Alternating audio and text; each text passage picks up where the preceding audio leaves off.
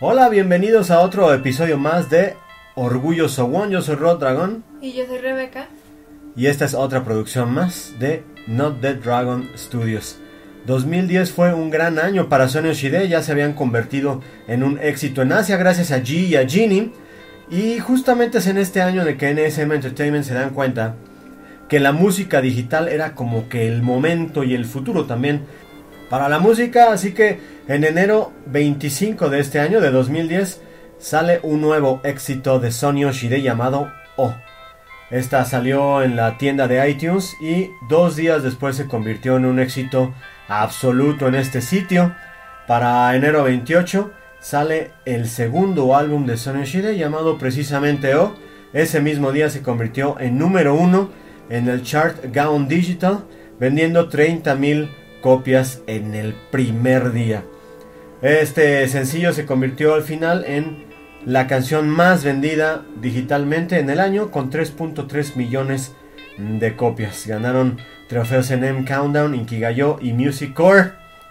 El video muestra a las Oshis como porristas, precisamente de un equipo de fútbol americano, salen cantando y bailando.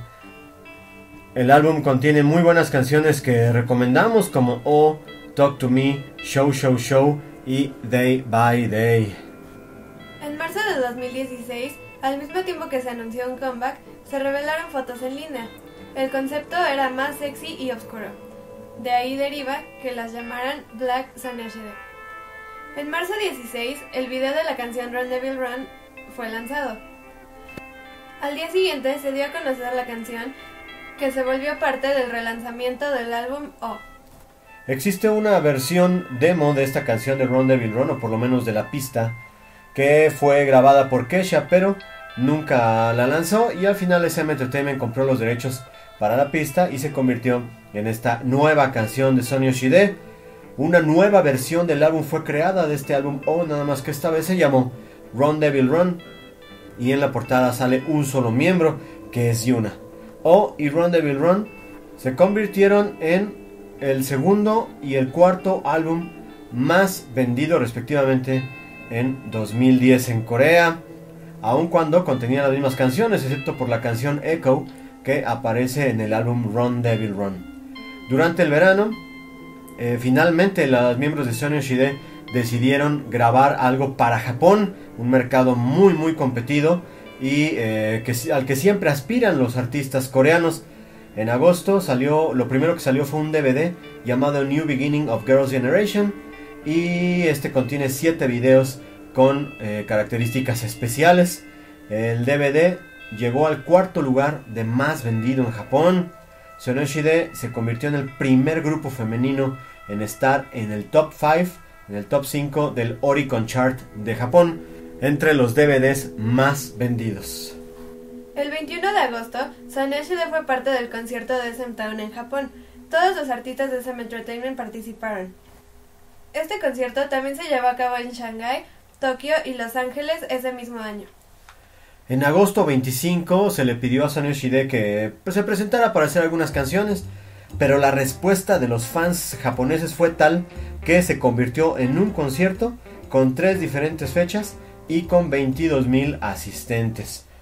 Durante esta presentación llevaron a cabo versiones japonesas de Genie, misma que se convirtió en número 2 en el Oricon Chart y número 1 en iTunes en Japón.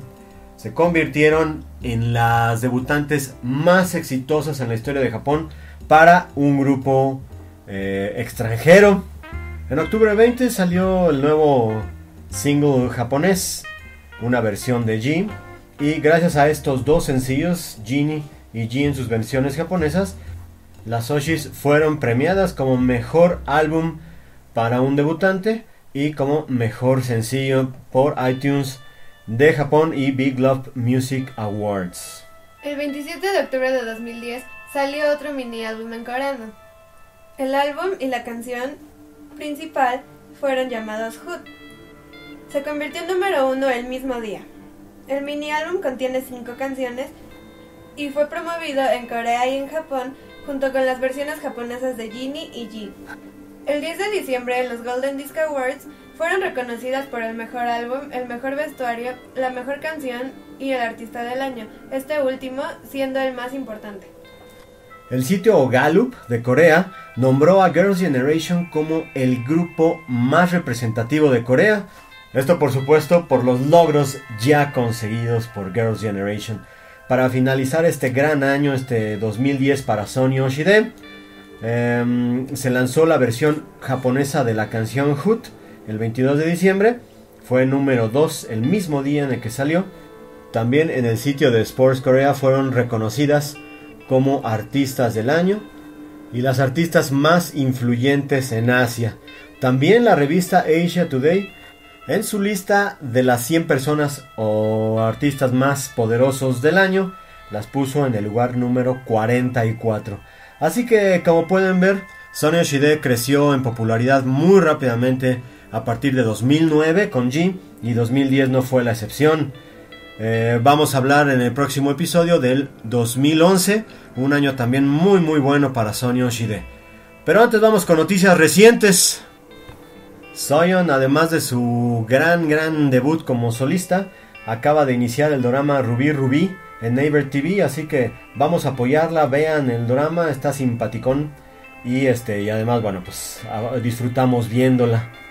En enero 19, Taeyeon fue premiada en los Golden Disc Awards con el premio Bonsan, que es un premio por el álbum del año. En solo 5 días, el video musical Don't Say No de Soyeon ha alcanzado casi 5 millones de visitas, así que le ha ido muy muy bien a Magne, que ya me gusta que le digan Magne, en su debut, un álbum ampliamente recomendable.